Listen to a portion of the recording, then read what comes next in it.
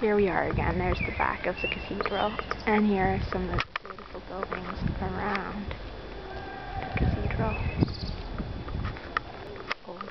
Right there, that that's the Renaissance Middle Ages style with the wood wooden beams exposed. They usually painted different colors. I love that style.